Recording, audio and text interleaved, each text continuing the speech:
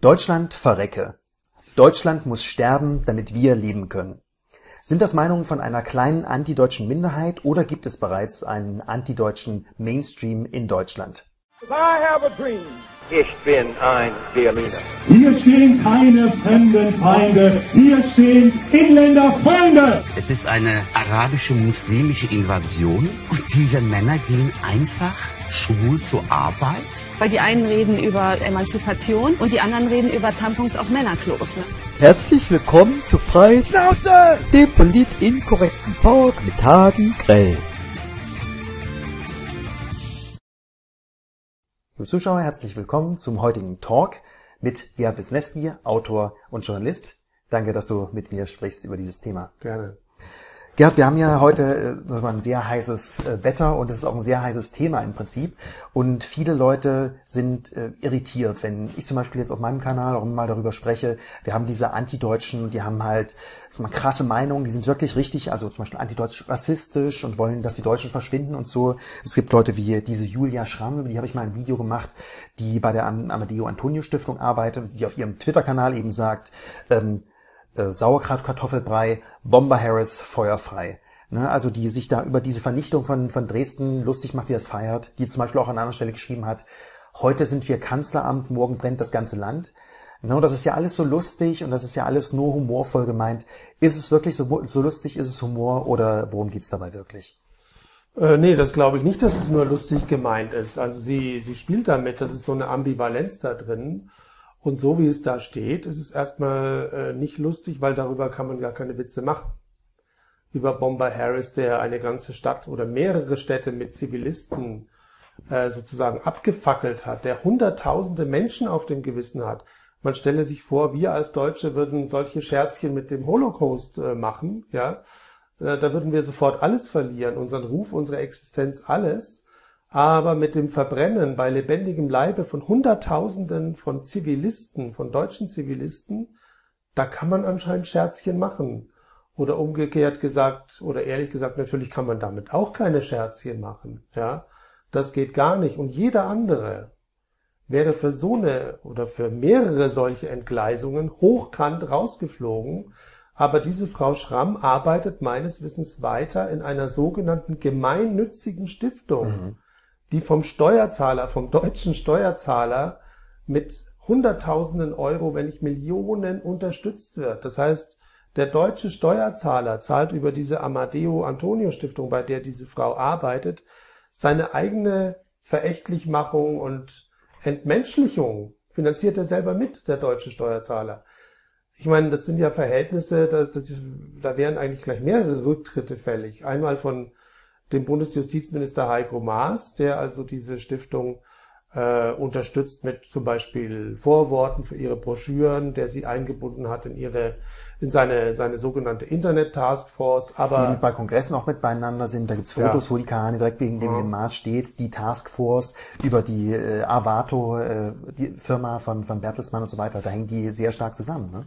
Dann die Bundesfamilienministerin Schwesig. Ah ja finanziert die Stiftung auch mit, auch Rücktritt, ja. Wenn wir ein normal funktionierendes Land wären, in dem tatsächlich das Volk der Souverän wäre, wie uns immer eingeredet wird, wären diese Leute schon weg.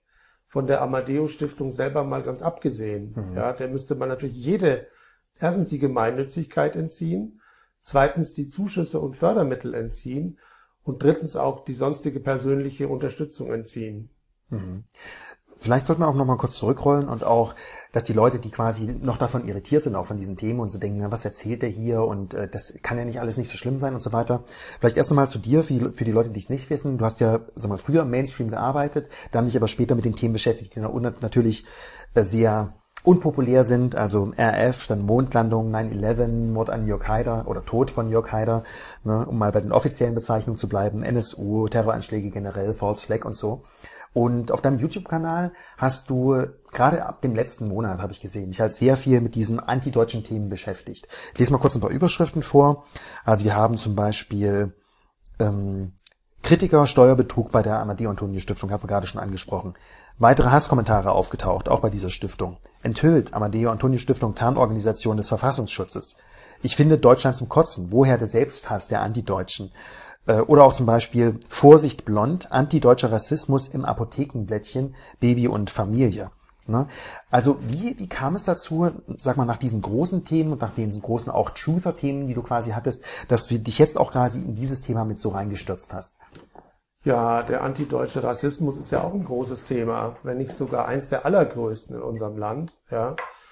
Und eigentlich fing es mit der Migrationskrise an, mit der sogenannten Migrationskrise, die ich ja dann als einer der ersten als Migrationswaffe beschrieben habe. Und da wurde mir eigentlich klar oder noch klarer als ohnehin schon, dass Deutschland unter einem Angriff steht von außen. Nicht nur Deutschland übrigens, nicht, dass man mich hier gleich als äh, Superpatrioten darstellt, ja, was natürlich kommen wird, ja, sondern Europa an sich, auch die anderen Länder leiden unter diesem äh, Migrationsangriff, ja. Mhm.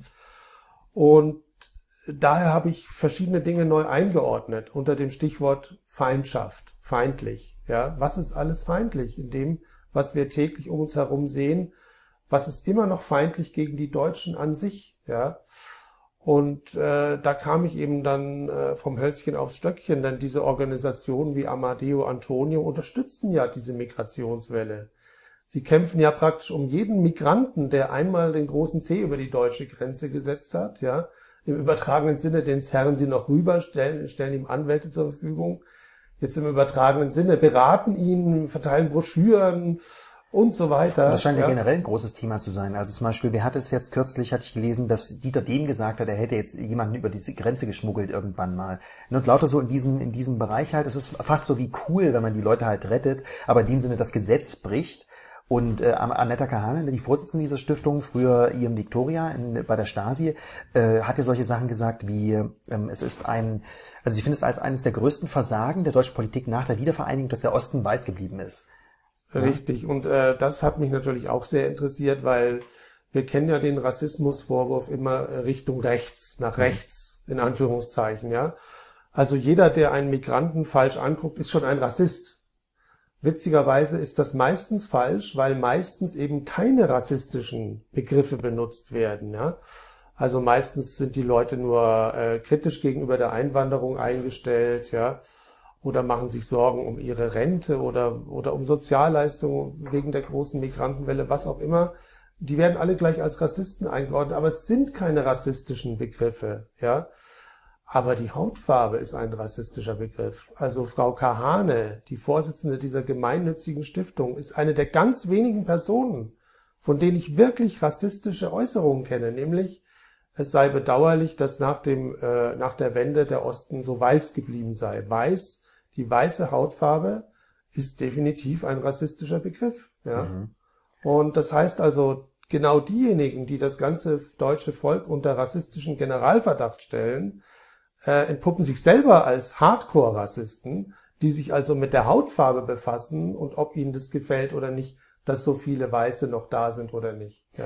Das finde ich einen sehr interessanten Punkt. Ähm ohne jetzt den, sagen wir, den Rahmen dort zu weit spannen zu wollen, aber einfach mal, weil das können wir jetzt in unserer Kompetenz jetzt nicht so einschätzen, aber einfach von der Sache her, ich erzähle es häufig und sage, dass die Deutschen für mich nicht rassistisch wirken. Also viele sagen einfach, wenn sie so Zuwanderung kritisieren, ähm, erstens, dass es unfair ist, dass mit, mit der Politik, also dass die so viel Geld bekommen und unsere Rentner im Stich gelassen werden. Zweitens, dass sie Angst haben wegen der Sicherheitsmaßnahmen. Drittens, dass sie Angst haben wegen der ähm, demografischen Entwicklung, die daraus entstehen kann.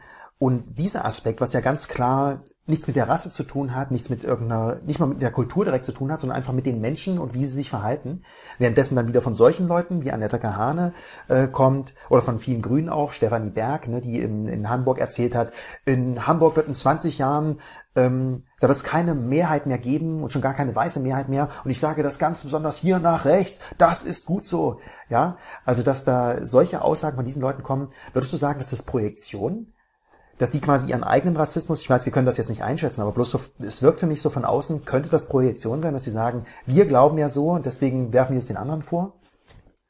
Also das ist eine, eine ganz gängige Propagandataktik, dass man die eigenen Schweinereien immer der Gegenseite unterstellt. Mhm. Das ist also schon, das ist typisch auch für Kriegspropaganda, ja.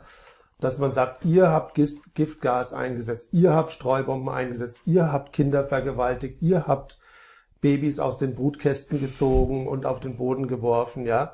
Also alle Schweinereien, das kann man tatsächlich historisch auch nachweisen, meiner Meinung nach, die man selber begeht, ja, oder begangen hat im Krieg, die hat man dem Feind unterstellt und vorgeworfen, was ihn erstens schwächt und zweitens von den eigenen Untaten ablenkt, ja. Mhm. Das ist also eigentlich eine gängige Propagandataktik. Das ist interessant. Vielleicht um die Leute gerade auch mal ein Stück weit mit den also mal Fakten zu, zu konfrontieren. Vielleicht gerade zu den Überschriften, die ich auch gesagt habe. Vielleicht können wir da auch noch mal einzelne Sachen durchgehen und sagst so ein bisschen die Stichworte noch dazu oder die, die, den groben Inhalt, dass die Leute auch noch mal ein Gefühl dafür bekommen, dass das hier nicht nur, sag mal so, unser Bauchgefühl ist, sondern dass sich das, dass sich das auch nachweisen lässt, dieses Antideutschtum vielleicht. Wie schaut zum Beispiel aus mit diesem ähm, Vorsicht blond, antideutscher Rassismus in Apothekenblättchen, Bibi und Familie? Was hattest du da zusammengetragen? Ja, das ist ungeheuerlich. Also ähm, mir ist da, jeder kennt ja diese Apothekenblättchen. Also ähm, da gibt's verschiedene, drei, vier, fünf Stück oder so, die also kostenlos in der Apotheke herumliegen. So nette Gesundheitsblättchen. Auch beim Arzt. Beim Arzt auch. So nette Gesundheitsblättchen, so hell und freundlich aufgemacht und mit Beratungsgeschichten. Was macht man bei Zucker oder bei Kopfschmerzen oder wie gut ist Bewegung und so eigentlich relativ flach und unpolitisch. Und da stand plötzlich ein Riesenartikel drin äh, über sogenannte rechte Eltern in der Kindertagesstätte und woran man die erkennen kann, ja. Und zum Beispiel, also, dass die nett und freundlich sind, dass die sehr gut organisiert sind, dass die Kinder sehr gut erzogen sind. Das ist sehr verdächtig. Mhm. Ja, Das schlimme, schlimme Eigenschaften vor allen Dingen. sind wahrscheinlich Rechte, dass sich die Eltern engagieren in den Gremien der Kindertagesstätte. Aber das Dickste kommt eigentlich noch dazu, hatten sie Zeichnungen gestellt von solchen Eltern und die hatten alle blonde Haarfarbe und weiße Haut, ja. Mhm. Also richtig plakativ. Und Wie viele Figuren waren das, dass man sagen kann, sonst könnte es ja Zufall sein, ne? Wie Nein, es das? war über die, ich glaube, die Geschichte hatte sechs Seiten und sie war also äh, bebildert mit, mit äh, Zeichnungen von Menschen. Äh, einige waren nur in Schwarz-Weiß und andere waren, Figuren waren farbig ausgeführt. Und da, äh, die hatten alle zum Beispiel blonde Haare und blonde Zöpfe und so, ja. Also man stelle sich vor, irgendjemand hätte das mit Schwarzen gemacht. Das wäre das Ende gewesen, ja. Diese Schmuddelredaktion, die dieses Heft gemacht hat, Baby und Familie, die hätte ihre Hefte sowieso einstampfen können. Keine Apotheke hätte dieses Heft jemals wieder ausgelegt, das ist ganz klar, ja. Und ähm, ja, das ist ungeheuerlich. Ein solcher Fall von Rassismus geht einfach durch, wenn es gegen Deutsche geht. Ja. Also würdest du auch sagen, dass dort eben dieser, dieser Doppelstandard so grob ist, ich habe ja vorhin diese Sprüche gesagt, ne? mir scheint es auch so, dass es so, gerade sowas dann eben zugelassen wird, also so Deutschland verrecke, das macht man natürlich, sagt man natürlich noch nicht offen, öffentlich, aber die Kanzlerin nimmt zum Beispiel so eine Deutschlandflagge und, und gibt die dann weg bei einer Parteifeier zum Beispiel, ne? und auch dieses andere Verhalten. Also würdest du sagen, Du hast es ja gerade schon ein Stück weit gesagt. Aber würdest du sagen, so in der Gesamtbetrachtung bei diesen Leuten, dass es sehr häufig wirklich so ist, man hat diesen Doppelstandard, für Deutsche gilt etwas anderes als für ähm, Ausländer oder halt Gruppen, die sich nicht mehr als Deutsch identifizieren? Würdest du sagen, da gibt es diesen Doppelstandard auch? Ja, auf jeden Fall. Also wir dürfen uns gar nicht mehr kritisch äußern über diese Einwanderer, die ja meistens illegale Einwanderer sind. Und äh, gegen Deutschen gegenüber darf man praktisch alles sagen. Man darf ihnen alles unterstellen, jede jede Schweinerei sozusagen, ja. Ähm, aber wenn man sich das mal genauer betrachtet, die Äußerungen wie beispielsweise Deutschland verrecke oder diese Schramm hat auch noch irgendwas äh, gedichtet von Deutschland darf getötet werden und solche Dinge, ja. Da habe ich mich gefragt, ja, kann das wirklich originär aus einem Deutschen stammen, so eine Haltung, ja. Äh, viel, viel plausibler wäre es ja eigentlich, wenn man sich das als Haltung eines, eines externen Feindes vorstellen würde, wie beispielsweise im Zweiten Weltkrieg. Also wenn Churchill jetzt gesagt hätte, Deutschland verrecke, hätte sich wahrscheinlich keiner gewundert. ja. War ja praktisch sein Job, ja. Und daher habe ich auch weitere Videos oder Geschichten zu der Frage geschrieben, woher kommt dieser deutsche Selbsthass? Kann der überhaupt sozusagen endogen sein, ja? Aus innen, aus dem Inneren heraus. Und bin zu dem Schluss gekommen, dass nein, weil kein Baby zum Beispiel, das auf die Welt kommt, würde mit Selbsthass auf die Welt kommen, sondern dafür bedarf es einer weiteren Einwirkung von außen, ja. Irgendwer muss dem Baby klar machen, du bist nicht toll, du bist hässlich, du bist dumm, du bist frech oder sowas, ja, und du bist nichts wert. Und dann wird es das erst in einem weiteren Schritt irgendwann verinnerlichen, sodass so ein Selbsthass zustande käme. Aber ich brauche diese Außenseite und diese Außenseite gibt es meiner Meinung nach auch hier. Na gut, kann man ja auch Argumente für bringen. Also was fällt mir zum Beispiel ein, eine Sache, die ja wir uns ja schon so gewöhnt haben, oder wir jetzt vielleicht nicht mehr so ertragen müssen, wenn wir nicht mehr Fernsehen schauen oder so, aber die ganzen äh, Nazi-Geschichten, die ja auf das Deutschtum nur so ausgebreitet wird. Also es vergeht ja keine Woche, in dem nicht wieder irgendwas über Nazis halt gesendet wird und wie schlimm die waren und äh, dass die halt alles nur, ähm, dass die auch dieses Deutsche so repräsentieren. Ja, und wir müssen uns immer wieder verneigen und immer wieder selbst geißeln und alles ganz schlimm und so. Und das eben nicht mit den Nazis, sondern immer so dieses, es steckt halt irgendwie in den Deutschen drin.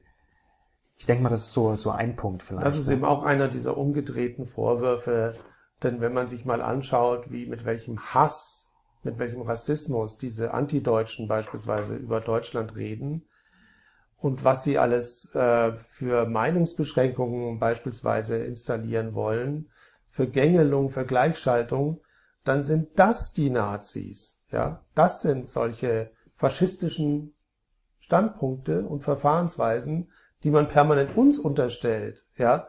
Und noch was, ich meine, die sogenannten Nazis, was heißt denn das?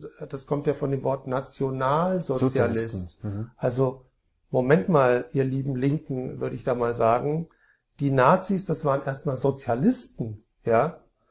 Und ähm, das haben die komplett vergessen. Ne? Das also der Staat, der Nazistaat hatte ja viele sozialistische Aspekte. Ja, diese diese BDM-Mädchen, die Jugendorganisation, das alles gab es dann später ganz ähnlich, fast gleich in der DDR, nicht in Westdeutschland. Ja? Ja. solche staatlichen Jugendorganisationen und solche Dinge. Ja? Und dafür sind die anscheinend zu beschränkt für so eine geschichtliche Perspektive. Ja, das hatte ich auch schon häufig versucht mal zu besprechen und da wird sich auch immer ganz gerne rausgeredet.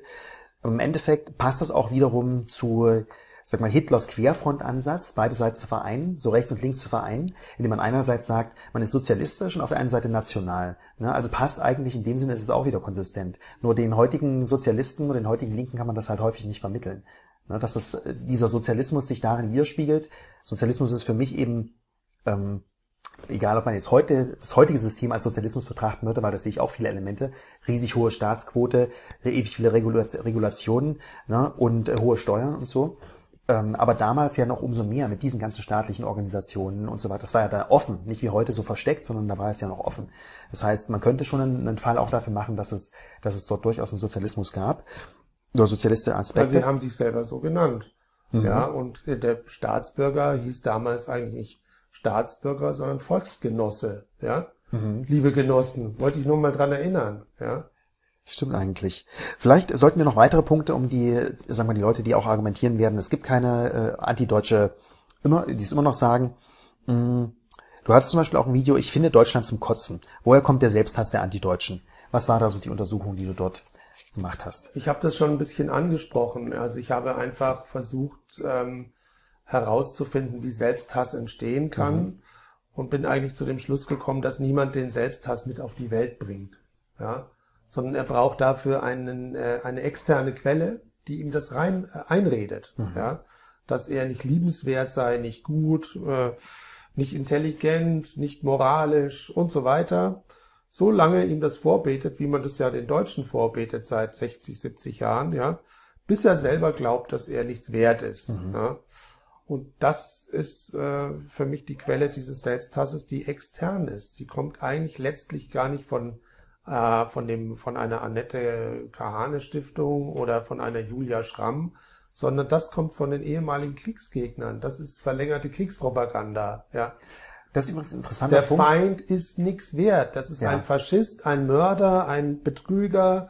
Das sind alles sozusagen Kriegspropaganda. Topoi, ja, oder, oder Motive, ja. Und am besten, wenn der Feind das noch selber glaubt. Ne? Da übrigens ein wichtiger, äh, witz, äh, wichtiger Punkt oder eine wichtige These auch, die ich gerne, wo ich gerne deine Meinung zu hören würde. Es gibt auch Leute, die quasi das so argumentieren, dass Angela Merkel, so wie sie sich jetzt verhält, quasi nicht als deutsche Kanzlerin betrachtet werden sollte, sondern eher als eine Art feindlicher General, der den Bundeskanzler hier mient, äh, mimt aber währenddessen quasi als feindlicher General hier die Zerstörung Deutschland von innen, Deutschlands von innen quasi bewirkt. Würdest, was, wie würdest du zu dieser These stehen? Ja, aus ihrem ganzen Verhalten kann man ja gar nichts anderes folgern. Angefangen bei dem äh, Ekel vor der eigenen Flagge, der eigentlich für den Rücktritt schon reichen würde, ähm, über diese Migrationskrise oder den Einsatz oder die, hm, die Duldung dieses Einsatzes der Migrationswaffe gegen Deutschland bis hin zu ihren gesamten Sabotageakten, die sie begeht, ja. Da würde ich mal äh, anführen beispielsweise die Energiewende, ja, die also unser Stromsystem, unser Energiesystem komplett zum Kippen bringt, ja dann äh, das muss man vielleicht kurz äh, erklären, weil viele Leute werden dann denken, ah, was hat denn jetzt der Wisniewski, ist der ist der bezahlt von der Energielobby oder so? ähm, es geht ja darum, dass man als Land so strategisch das gesehen, schlecht, da hätte ich nichts dagegen. aber wenn man als Land strategisch gesehen, dann braucht er die Energie, um sich selber zu versorgen, ja, zum Beispiel um im Winter zu heizen. Das ist ja auch eine Energieform, die Wärme, ne? um um äh, die Maschinen am Laufen zu halten. Wir sind ja eine Industrienation, brauchst du unbedingt, ne? auch um die ganzen Computer für die Entwickler, für YouTube, für was weiß ich, Server auch in Deutschland Deutschland. Dafür brauchst du die Energie. Und wenn du quasi Energieproduktionsquellen hast, die ähm, weniger effizient sind, die nicht genug Strom liefern, dann bist du immer dafür abhängig, dass jemand von außen das beliefert. Ne? Wenn du das quasi, wenn du einen immer abhängiger machst von außen, dann ist es eine Sabotage von sich selber. Die Energieversorgung ist ja ein strategisches Moment ja, in einem Staat. Das ist ja ein zentrales strategisches System, ist das Energiesystem. Wenn ich das durcheinander bringe oder zum Kippen bringe oder sabotiere, dann ist der Staat erledigt, wenn der Strom beispielsweise dauernd ausfällt und solche Dinge, ja.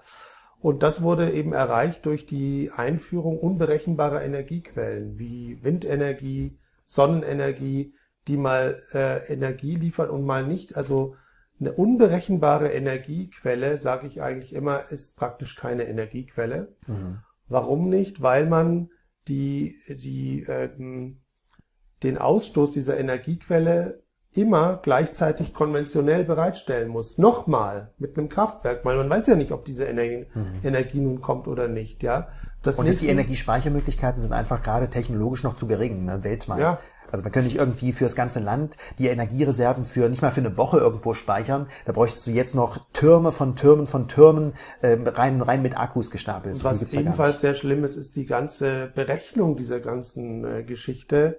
Also das Management von völlig unberechenbaren Energiequellen und diese unberechenbaren Energiequellen in das ganze riesige komplexe System einbinden, ja.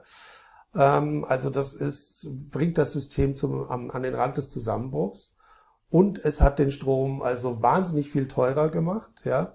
Dann gibt es irrsinnige Programme wie Bioenergie, also oder Biogas, ja. Mhm. ich weiß nicht, wie viele tausend Bauern inzwischen äh, solche Biogasanlagen haben, die sehr gefährlich sind. Also wenn die kaputt gehen, können die alles verseuchen oder können auch explodieren, mhm. abbrennen, sowas glaube ich, ja. Oder die, sieh dir mal die Felder an, da wird plötzlich nichts mehr angepflanzt, sondern sie werden mit, mit Solarzellen zugelegt, mhm, ja. Mhm. Also hier geht's auch um die Nahrungsversorgung, die deutsche Landwirtschaft, ja. Das wird uns ja sowieso schon Jahre Damit sind wir bei der nächsten zentralen mhm. Ressource für dieses Land, ja.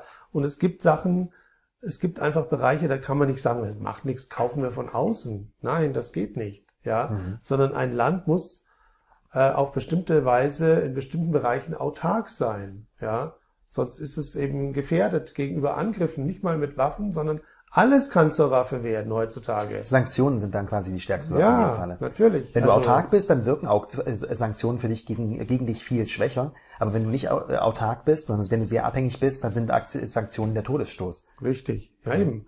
Und das heißt, man könnte dann aufhören, den deutschen Strom zu liefern oder Nahrungsmittel zu liefern oder, oder, oder. Und da sehe ich, dass Frau Merkel da gut unterwegs ist. Und ich bezeichne das immer als Merkelismus. Das klingt jetzt komisch oder es klingt trivial.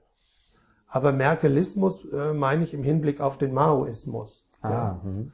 Also dieser chinesische Staatschef, das war ja ein, ein im Prinzip reiner Irrer, der Millionen Chinesen das Leben gekostet hat durch irrsinnigste Programme, also das ging so weit, dass er zum Beispiel alle Chinesen aufgerufen hat, alle Spatzen zu töten. Ja, also die haben wirklich dann Spatzen vom Himmel angelockt und totgeschlagen. Ja, oder es wurde zur Denunziation aufgerufen. Dann wurden riesige Umsiedlungsprogramme organisiert, sodass alle Leute entwurzelt wurden. Es kam zu Hungersnöten. Das heißt, Mao war ein reiner Saboteur in China und Merkel ist dasselbe in Deutschland. Würdest du sagen, dass Mao äh, quasi auch ausländische Auftraggeber hatte? Weil bei Merkel wirkt es ja so, als ob man da durchaus versucht, halt Deutschland fertig zu machen, um zum Beispiel die Konkurrenz auszuschalten. Also Mao ist ja erzogen worden in, glaube ich, britischen Schulen. Ja, Ah, okay. also viel mehr muss man eigentlich gar nicht mehr wissen und sich dann noch sein Verhalten anschauen. Also Mao war selber eine Waffe gegen China. Ja, und Merkel ist definitiv aus meiner Sicht eine Waffe gegen Deutschland. Ja, und auch, dass sie diese Migrationswelle, das ist ja auch eine existenzielle Ressource eines Landes, sind seine Grenzen, sein Staatsgebiet, ja. Und wenn ich das sozusagen herschenke, äh, dann bewege ich mich ganz nahe an dem, was man Hochverrat nennt. Ja. Oder sagen wir auch innerer Friede als Ressource. ja. Weil wenn wir hier quasi, man kann sich schwerer verteidigen, wenn man den Feind noch mit im Inneren und von, von außen hat zum Beispiel. Ne? Währenddessen, wenn man eine innere Geschlossenheit hat und eine innere Homogenität, sag mal jetzt mal bloß kulturell äh, hat, beschränken wir uns mal auf die, auf die Kultur und sagen, eine kulturelle Homogenität, wo man sagt, wir stehen füreinander ein, das ist ja damit auf mehrere Weisen zerstört. Dass sie, dass sie die Deutschen gegeneinander aufgehetzt haben, das ist ja schon seit Jahren äh, so, auch durch diese ganze antideutsche Propaganda, Selbsthass. Aber wenn man jetzt noch zusätzliche Leute, die quasi jetzt so gar nicht kompatibel sind, die im Schwimmbad quasi äh, grapschen, die, die vergewaltigen, um jetzt mal die negativsten Beispiele noch zu nennen, dann hast du auch diesen inneren Frieden nicht mehr. Ne? Nein, sondern wir reden hier von Zersetzung. Ich zersetze das Volk äh, auf verschiedenen Ebenen, ja. Durch Einwanderung, durch massenhaft fremde Kulturimporte, ja, musikalisch, künstlerisch, sonst wie, ja. Und äh, Zersetzung, das nennt man ja äh, auch Dekadenz, ja. Und Dekadenz oder Decay heißt im Englischen Verfall. Verwesung. Oder Verlesung, genau. Das Staatswesen hier ist am Verwesen. Ja, das ist jedenfalls meine Sicht der Dinge.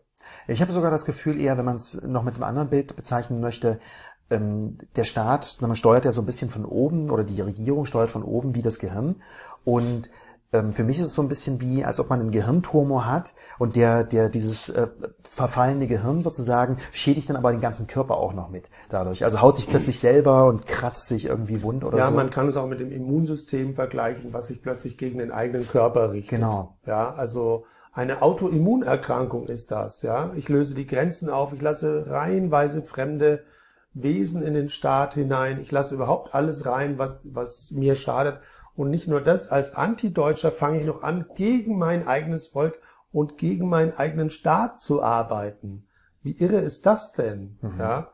Ich meine, diese Antideutschen, möchte ich nur mal bemerken, werden sich in 10, 20 Jahren, wenn der deutsche Staat weiter so zerstört wird wie zurzeit, dann werden die sich mal umgucken, wo ihr Hartz IV herkommt, wo die Arbeitsplätze eigentlich geblieben sind, ja.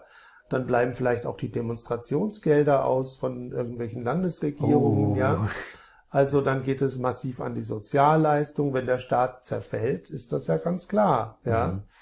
Und äh, Denkst du, dass die diesen Weitblick nicht haben, dass die quasi das nicht, also ich meine, meine Antwort ist, die haben ihn nicht, aber warum haben sie ihn nicht? Also ein Mensch, der sich selber sozusagen auflöst und sein Volk, das ja seine, das ihn ja trägt, ja, Ja. finanziell zum Beispiel, über Sozialleistungen. Jemand, der das bekämpft, äh, tja, wie soll man den beurteilen? Ja, ist das jetzt schon ein psychiatrischer Fall? Ja, also es, es geht schon in diese Richtung von Selbstzerstörung. Das kennt man ja in der Psychiatrie. Diese Phänomene von Selbstverletzung, Selbstzerstörung bis hin zum Selbstmord, ja. Und da kann ich nur sagen, das sind hm, schwer bedauernswerte Figuren. Ja. Und man sollte ihnen nicht die Verantwortung geben, weil sie weder für sich selber gut entscheiden können, noch für andere. Natürlich nicht, jedenfalls äh, nicht für andere Deutsche. Ja, ja. Für andere ausländische Kräfte entscheiden sie natürlich richtig, äh, weil sie ja sozusagen mh, für deren Interessen arbeiten. Ja, der Zweite Weltkrieg hat ja nie aufgehört. Er geht immer noch weiter und äh, kommt jetzt in eine neue intensivere Phase. Und Muss man vielleicht auch noch kurz sagen, also zum Beispiel, was es für Deutschland gilt, ne, mit der Besatzung, das ist ja nicht was, was wir jetzt nur erfinden, sondern das hat ja Schäuble auch gesagt, Gabriel, glaube ich, auch gesagt, ne, und das Bundesverfassungsgericht hat es auch festgestellt. Ich muss Ihnen mal ganz ernsthaft sagen, dass das Besatzungsstatut immer noch gilt. Und wir in Deutschland sind seit dem 8. Mai 1945 zu keinem Zeitpunkt mehr voll souverän gewesen. Sondern wir bis heute keinen richtigen, rechtlich, völkerrechtlich bindenden Friedensvertrag für Deutschland haben. Das ist richtig. Deutschland ist kein souveränes Land und befindet sich immer noch eigentlich im Nachkriegszustand. Also es ist ja nicht Verschwörungstheorie oder irgendwas. Deutschland ist noch ein besetztes Land und es steht auch im Grundgesetz so drin. Ja, klar. also mit dem Paragraphen, der immer noch zur Ja, Deutschland hat sogar nicht mal mehr ein Staatsgebiet. Also keins in der Verfassung, besser gesagt im Grundgesetz definiertes Staatsgebiet. Das wurde abgeschafft mit dem 2 plus 4 Vertrag um 1990 herum, unter anderem mit Hilfe von Herrn Schäuble, wo man die Definition des deutschen Staatsgebietes rausgenommen hat und ersetzt hat durch eine Verpflichtung für die Europäische Union. Also Deutschland ist eigentlich schon eine Beute der Europäischen Union. Ja. Ah, das, das stand das im Grundgesetz drin und es war dann quasi, äh, das ist ja manchmal so, und das, ist- das ist auch so eine richtig fiese Strategie, finde ich, ähm, wenn du, äh, gibt's da mehrere Beispiele für, wenn du einen Paragraphen rausnimmst, gerade aus solchen, aus solchen wichtigen Dokumenten wie im Grundgesetz und dann durch einen anderen einfach ersetzt. Genau. Und du guckst dann halt rein und denkst, na, äh, warte mal, der, der ist ja jetzt so, da geht's um die EU zum Beispiel. Und äh, wenn du sagst, dann ist da einer, der früher das Staatsgebiet war, welchen, weißt du gerade, welcher das ist? ich glaube 21. Also da wurde das deutsche Staatsgebiet definiert über die Bundesländer, ja. Und die Außengrenzen der Bundesländer zu den anderen Staaten sind natürlich die Außengrenzen Deutschlands gewesen. Und das wurde dort komplett rausgenommen, inhaltlich verändert und in die Präambel verschoben, so dass es so aussieht, als wäre das ja noch drin, ja. Nur die Präambel ist beispielsweise nicht rechtsgültig in einem Vertrag oder in einer Verfassung, sondern sie formuliert eher so ein bisschen den Geist, ja, Kontext. ja, und äh, ist nicht rechtsgültig und aber auch inhaltlich wird das deutsche Staatsgebiet da nicht mehr definiert. Und der Artikel selber wurde ersetzt durch einen Artikel, den man heute Europa-Artikel nennt, wo also das deutsche Staatsgebiet verschwindet und dafür eine Verpflichtung eingebaut wurde, also äh, für die Europäische Union zu arbeiten und im Sinne der Europäischen Union zu handeln, so ähnlich. Ja. Und das heißt, man ist kräftig dabei, Deutschland aufzulösen. Wenn man das äh, sogar von der, von der Logik her zusammenbringt, diese zwei Artikel oder diese Auflösung, könnte man ja fast vermuten, dass jemand ein Interesse daran hat, eben, dass sich Deutschland auflöst und dann eben Teil von nur einer EU wird, also Vereinigten Staaten von Europa. Ja, Deutschland hat damit im Prinzip schon sein Staatsgebiet verloren und fällt praktisch als Beute der EU zu, äh, rein rechtlich oder verfassungsrechtlich gesehen. Ja, oder Gewohnheits, gewohnheitsrechtlich oder wie, die- wie Gewohnheit ist Ja. natürlich immer noch was anderes. Da kann man nicht einfach sagen, oh ja, übrigens Deutschland ist aufgelöst und wir kommen jetzt hier alle rein und es Ja, verschwindet von aber umsonst wurde die Operation bestimmt nicht durchgeführt, Ja, ja. sondern man erkennt an dem Vorgehen die Absicht. Man sieht genau, also der ist jetzt nicht irgendwie unter den Tisch gefallen, der Paragraph, sondern es wurde ganz klar hier eine Strategie verfolgt und umgesetzt. Gucken wir nochmal zu der Amadeo Antonio Stiftung, weil du zu der auch mehrere Sachen gemacht hast, um das den Leuten auch nochmal nahezubringen. Viele haben es ja schon gehört, das ist auch schon durch viele alternative Medien durchgegangen. Aber du hast ja auch ein paar neue Sachen äh, aufgedeckt. Vielleicht schauen wir mal zu der ähm, Steuerbetrugssache, zu der Verfassungsschutzsache Schutzsache und ähm, ja, die Petition vielleicht noch. Also Steuerbetrug, wie sieht's Ja. da aus? Also das war eine Frage, die nicht von mir ursprünglich gestellt wurde, sondern von einem Steuerberater, der auf dem Internet über das Thema schon geschrieben hatte, ob es sich da um Steuerbetrug handeln könnte. Ja, weil, äh, wie gesagt, diese Amadeo Antonio Stiftung ist gemeinnützig tätig und ähm, Müsste also theoretisch dem Gemeinwohl dienen. Richtig, theoretisch, ja. Und damit sind ja bestimmte Steuervergünstigungen äh, verbunden. Und ähm, zum Beispiel kann man Spendenquittungen bekommen, wenn man denen Geld spendet. Aber sie selber wurden auch befreit von der Gewerbesteuer, glaube ich, ja. Und ähm, dann ist es auch nochmal ein eigenes Thema, was ist mit den Gewinnen eines solchen gemeinnützigen Vereins oder einer gemeinnützigen Stiftung?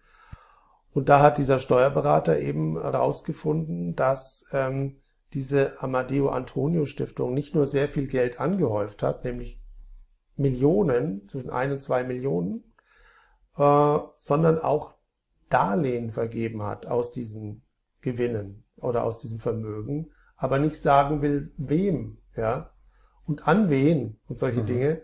Und ähm, das ist natürlich alles sehr brisant und, und heikel. Und da, so kam auch diese Frage zustande, ob sie überhaupt äh, diese Bedingungen noch erfüllt für diese Steuerbegünstigung. Ja.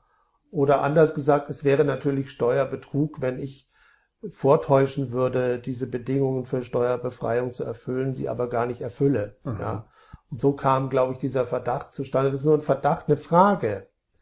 Und dieser Steuerberater hat auch dort angefragt. Also, wen, wem gibt ihr denn diese Darlehen? Und sie haben dazu nicht geantwortet. Ja. Mhm. Und dann kann ich nur sagen, hallo Finanzamt. ja, also ich, bei mir und jedem anderen kleinen Unternehmer, da stehen die Jungs ganz schnell auf der Matte, ja, und wollen äh, alles, alle Belege und alles sehen. Und was ist denn eigentlich hier? Hier ist ein Verein, der gegen äh, Deutschland hetzt, denselben, also aus meiner Sicht sehr nahe sich an der Volksverhetzung bewegt, ja, und der darf sich, der darf steuerbegünstigt arbeiten. Das kann es ja wohl nicht sein. Ja. Mhm. Man möchte, man möchte fast denken, dass da vielleicht eine schützende Hand gibt, die sich darüber hält. Ne? Das wäre jetzt wieder Spekulation. Andererseits gibt es ja direkte Verbindungen zu Heiko Maas. Die Frage ist nur, ob er seine schützende Hand darüber halten würde. Oder Es nicht. gibt Verbindungen zu diesen Ministerien. Das Bund, die Bundesfamilienministerin Schwesig, SPD, fördert diese Amadeo Antonio Stiftung. Verdeckt hattest du auch eins. Verdeckte Wahlkampffinanzierung mit Meinungsbekämpfung mit Amadeo Antonio Stiftung, Ja. SPD. Man darf ja nicht vergessen, die SPD zahlt den Laden zum Teil. Also Millionen fließen da für Projekte und ähnliche Sachen aus dem SPD geführten Familienministerium. Ja. Und was passiert jetzt? Was machen die mit dem Geld? Sie bekämpfen im Prinzip konservative Meinungen. Ja. Sie diffamieren konservative Meinungen als rechts, als rassistisch, als rechtsradikal. Kampf ja. gegen rechts. Äh, Sie führen den Kampf gegen rechts, ja. Und äh, damit sind sie nur ein verlängerter Arm der SPD, ja, indem sie konservative Meinungen ständig verleumden und als rassistisch darstellen, bekämpfen sie eigentlich konservative Meinungen, unter anderem auch der Union, insbesondere der CSU. Die lassen sich jetzt alles gefallen. Dass die SPD hier eigene, ihre eigenen Feinde bezahlt, dieselbe SPD, mit der sie in einer Regierung sitzen. Ne? Also wie krank ist das denn? Ah, also könnte man in der Weise auch so ein bisschen, so wie du es jetzt beschrieben hast, auch bei der Amadeo Antonio Stiftung, sag mal, wenn man, wenn man eine, eine Organisation, Organisation bräuchte, die gegen andere Meinungen Stimmung macht, die vielleicht auch noch an dem richtigen Hebel sitzt, um dort halt zum Beispiel in Facebook Sachen zu zensieren oder so, die, sag mal, so wie Hitman gegen bestimmte Gruppierungen, also auf der, auf der propagandatechnischen Ebene arbeiten braucht, dann wäre es also optimal an die Amadeo Antonio Stiftung gehen, denn sie ist ja so angesehen, denn sie ist auch noch gemeinnützig, ne? das heißt, das ist auch nochmal fürs Prestige gut und sie hat offensichtlich einen Schutz, dass sie halt das alles machen darf und dann noch der Verfassungsschutz oder irgendwem noch nicht bei ihnen angeklopft hat. Also sie, sie arbeitet ja unter dem Mantel des wahren, schönen, Guten. Wir wollen ja nur das Gute und die bösen Nazis bekämpfen, ja. Und das kann ja einfach nur gut sein, ja, dass der Topf, äh, in dem diese Nazis sich befinden, inzwischen fast das ganze oder halbe Land umfasst. Das wird dabei also äh, beiseite geschoben, dass sie ja sowieso schon fast jeden zweiten als Nazi empfinden oder Rassisten oder Rechten, ja. Und äh, sie versuchen damit konservative Meinungen eigentlich auszumerzen. Sie haben auch eine Broschüre gemacht, ähm, da ist ein ganzer Katalog drin von 13 oder 14 Punkten, was Rassismus wäre. Zum Beispiel, wenn man jetzt sagt, wenn man jetzt unterscheidet zwischen wir und sie, also wir, die Deutschen und sie, die Migranten, das ist schon Rassismus, ja. Und da wird der Rassismusbegriff also gewaltig erweitert. Und das Einzige, was ich, ich habe nur einen Punkt in diesem 13 oder 14 Punkte Katalog zum Thema Rassismus gefunden, der, der mir auch widerstrebt hat. Wenn man also Menschen, Migranten zum Beispiel mit Insekten oder Parasiten oder sowas vergleicht, ja. ja. Da würde ich also auch, das würde ich sehr kritisch sehen, ja. Aber alles andere war nichts weiter als eine, eine mutwillige Erweiterung, fast schon eine paranoide Erweiterung des Rassismusbegriffes. Das ist vor allen Dingen krass, wenn man, fällt mir gerade auf, wenn man so extreme Sachen zusammenpackt mit so äh, simplen Sachen oder so, so unschuldigen Sachen fast. Wenn Ja. man sagt wir und die, das ist ja, das hat nichts mit Rassismus zu tun, das ist einfach nur eine, weißt du, so wie du Da und müsste ich, wir man und schon die. die halbe Bundesliga unter Anklage stellen, weil wenn ein Fußballverein kein Wir mehr haben darf und kein Sie mehr sehen darf, hat er keine Identität mehr, dann kann er auch nicht mehr Fußball spielen. Dann Wieso die halbe? Das ist die komplette. Ja, dann können sich die Mannschaften auf dem Spielfeld um äh, vermengen und umarmen und ein, ein Trinken gehen, ja. Und dann Okay. schießen sie noch aufs eigene Tor und so weiter, Ja, klar. weil wir sind ja alle irgendwie wir. Das löst sich dann alles auf, wenn wir nicht mehr in wir und sie denken dürfen. Mhm, ne? Also ich kann nur sagen, das ist paranoid, das ist krank. Ja. Ja. Ja, vor allem, das ist krass, das ist so harmlos. Und dann auf der anderen Seite hast du halt dieses Parasiten, was ja wirklich richtig, also das sagt man ja schon mit einem Widerle Widerstreben. Ich habe auch immer gesagt, diese Migranten sind nicht die Täter, die sind auch nicht schuld, die werden benutzt als Waffe. Sie haben genauso wenig ein Recht auf Heimat wie wir. Sie wurden vertrieben durch amerikanische, französische Bomben, ja, jedenfalls anfangs. Die, Vielleicht Flücht, die wirklich Flüchtlinge sind. Richtig, die wirklichen Flüchtlinge, ja. Und ähm, wir werden sozusagen vertrieben durch den Migrantenschwall, der hier hereinstrebt. Und sie wurden aber auch, sie wurden nicht nur vertrieben, sie wurden auch angelockt durch Lockrufe von Frau Merkel und anderen, ja, durch regelrechte Werbekampagnen in Afrika, ja, im Fernsehen und so, durch Gerüchte, in Deutschland kriegt jeder ein Haus und sowas, ja. Ja, auch diese Selfies von Merkel und von Ja, Gauck ja, und so weiter, das sind ja alles starke Bilder. Also das ist einfach, also Frau Merkel ist im Prinzip eine nicht, nichts weiter als die oberste Schleuserin der Republik, ja, würde ich mal sagen. Psychologisch und propagandistisch, aber auch praktisch. Und juristisch. Juristisch und praktisch. Sie hat die Grenzen aufgelöst für diese, an diesem Punkt vor etwa einem Jahr, ja. Und ähm, warum ist die Frau noch im Amt? Das ist ja eine Frage, die sich eigentlich viele stellen. Und ich habe gesagt, das ist unvorstellbar. Sie ist eigentlich ein Zombie, eine Untote der Politik, ja. Oder sie kann über Wasser gehen wie Jesus. Ich weiß es nicht, aber mit rechten Dingen geht es auf keinen Fall zu. Sondern hier gibt es äh, externe Kräfte, die sie da am Leben erhalten, warum sich auch nicht die Union endlich befreit von diesem Wesen, ja, also politisch, ja. Wie wir vorhin auch gesagt haben, wenn sie tatsächlich ein ausländischer General ist, wenn man sie so betrachten kann, ähm, einfach bildlich gesprochen, dann sind natürlich diejenigen, die hinter ihr stehen, ihre, ihre Co-Generäle oder ihre Auftraggeber oder ihre Commander, ähm, daran interessiert, sie weiterhin in dieser Position zu halten. Also das ist ja jetzt nicht so spekulativ, wie es sich anhört. Erstens heißt es ja seit jeher, du sollst sie an ihren Früchten erkennen oder Taten. Und das ist ganz wichtig, dass man hinschaut, ja, was sind denn die Früchte von Frau Merkel? Sie schadet Deutschland am laufenden Band, seit sie im Amt ist, ja. Ich erwähne auch noch diese, diese Griechenbürgschaften und das alles, ja, äh, wo also ESM auch. Milliarden im Feuer stehen, deutsche Steuergelder. Also, das ist einfach, spottet jeder Beschreibung, was da abläuft. Ja. Vielleicht noch als abschließenden Punkt, um, sag mal, den Leuten so ein bisschen eine, eine Möglichkeit mitzugeben, mh, wie sie vielleicht, ich denke mal, die meisten, die es jetzt auch geschaut haben, bis zum Ende werden auch ein Stück weit die Punkte nachvollziehen können oder das haben sie sowieso schon gedacht. Aber wie können die Leute vielleicht auch, wenn sie, sagen wir, mit ihren Freunden und mit Mainstreamern halt argumentieren, wie würdest du sagen, wie können Sie da vielleicht rangehen, um sie für dieses Thema zu öffnen? Weil wenn man zu frontal damit rangeht, ist es ja für viele so wie, das kann doch nicht sein. Unsere liebe Mutti, unsere liebe Bundeskanzlerin ist gegen uns. Es gibt Leute, die in Stiftungen sitzen, die so gegen uns arbeiten, die gegen Deutsche hetzen. Es gibt Leute, die auf der Straße sind, die Demonstrationen verhindern, die das Demonstrationsrecht einschränken wollen, sich wie Faschisten verhalten. Das kann doch nicht sein, du spinnst doch. So. Wie kann man vielleicht die Leute da ein bisschen ranführen, Also, sensibilisieren? ich kann nur sagen, Druck erzeugt nur Gegendruck. Ja, wenn man versucht jetzt mit sozusagen Brachialgewalt in der eigenen Familie oder unter Freunden dem anderen die seine eigene Meinung aufzudrücken, das erzeugt nur Gegendruck und Spannungen, ja.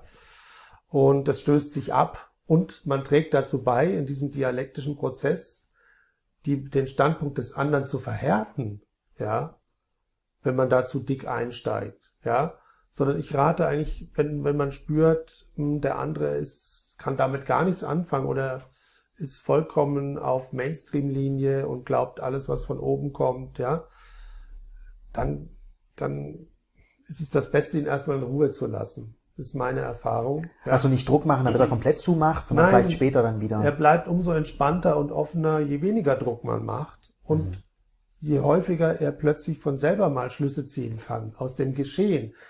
Denn das Geschehen arbeitet ja für die Wahrheit. Der, das alltägliche Wahnsinnsgeschehen um uns rum arbeitet für die Wahrheit, weil es immer mehr Menschen die Augen öffnet.